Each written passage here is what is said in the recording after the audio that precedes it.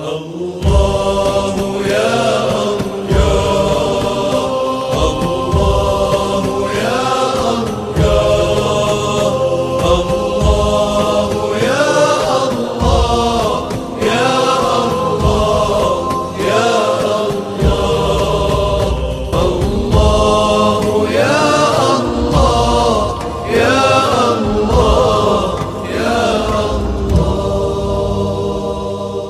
بسم الله والحمد لله وصلى الله وسلم على رسول الله. قصة عن ليلة النصف من شعبان.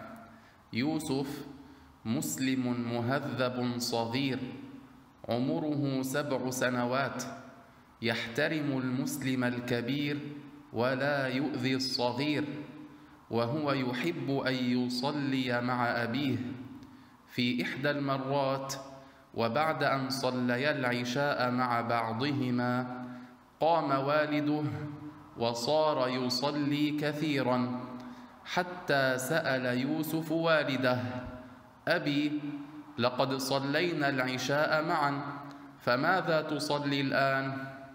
فأجاب والده أصلي قيام الليل وأدعو الله لأن هذه الليلة هي ليلة النصف من شعبان وشعبان هو شهر يأتي بعده شهر رمضان ولما يأتي اليوم الذي يكون في نصف شعبان نصوم نهار هذا اليوم ونصلي في ليله لأن رسول الله سيدنا محمدا صلى الله عليه وسلم أوصى بالصلاة في ليلة النصف من شعبان وبصيام نهارها. فسأل يوسف وماذا قال سيدنا محمد صلى الله عليه وسلم؟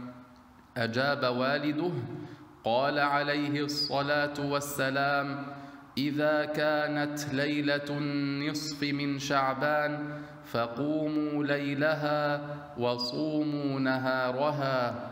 رواه ابن ماجه. هيا ندعو يا ولدي في هذه الليلة. اللهم بلغنا رمضان وأدخلنا الجنة بسلام. ثم بعد ذلك أطعم والد يوسف ولده قطعة حلوى. فقال يوسف بارك الله فيك يا أبي. أنا أحب ليلة النصف من شعبان. ثم سأل الوالد ولده يوسف وهل تعلم كم شهرا في السنة؟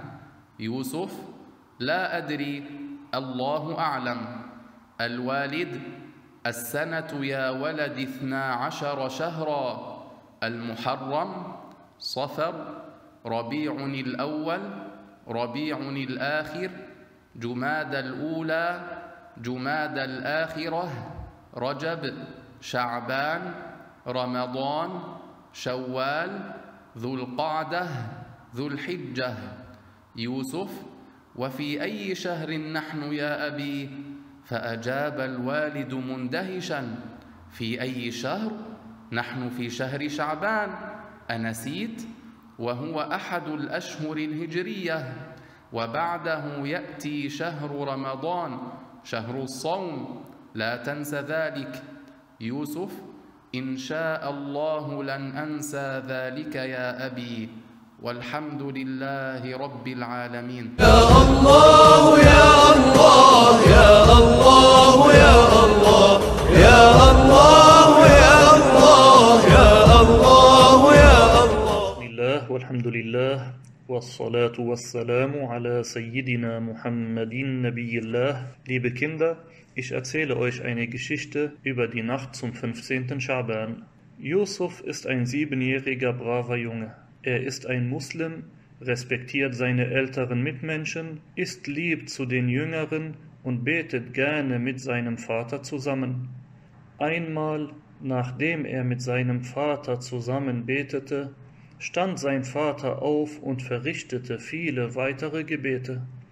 Yusuf fragte ihn, Vater, wir haben das Nachtgebet doch gemeinsam verrichtet, warum verrichtest du weitere Gebete? Sein Vater antwortete, ich verrichte das Qiyamul Layl Gebet und spreche Bittgebete, weil wir uns in der Nacht zum 15. Schaban befinden. Schaban ist der Monat, auf den der gesegnete Monat Ramadan folgt. Unser geehrter Prophet Muhammad sallallahu alaihi wasallam hat den Muslimen nahegelegt, in der Nacht zum 15. Schaban Qiyamul Layl zu verrichten und am darauf folgenden Tag zu fasten. Yusuf fragte weiter, was genau hat unser geehrter Prophet Muhammad sallallahu alaihi wasallam gesagt? Sein Vater antwortete, der Prophet Muhammad sallallahu alaihi wasallam sagte, إذا كانت ليلة النصف من شعبان فقوموا ليلها وصوموا نهارها. Dies bedeutet, wenn die Nacht zum 15. Schaban eintritt, dann verrichtet in ihr Qiyamul Layl und fastet den darauffolgenden Tag. Überliefert von Ibn Majah. Los, mein Kind, lass uns Allah darum bitten, uns ins Paradies zu lassen. Danach hat Yusuf etwas Süßes von seinem Vater bekommen. Yusuf sagte dann, Vater, Barakallahu fik, ich liebe die Nacht zum 15. Schaban. Daraufhin fragte der Vater, Yusuf, weißt du, wie viele Monate das Mondjahr hat? Die Antwort von Yusuf lautete, ich weiß es nicht. Sein Vater sagte, das Mondjahr hat zwölf Monate.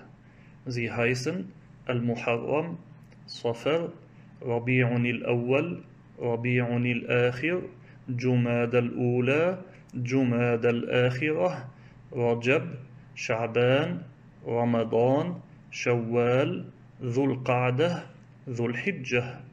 Yusuf fragte seinen Vater, und in welchem Monat befinden wir uns? Sein Vater schaute ihn überrascht an und sagte zu ihm, wir befinden uns im Monat Schaban.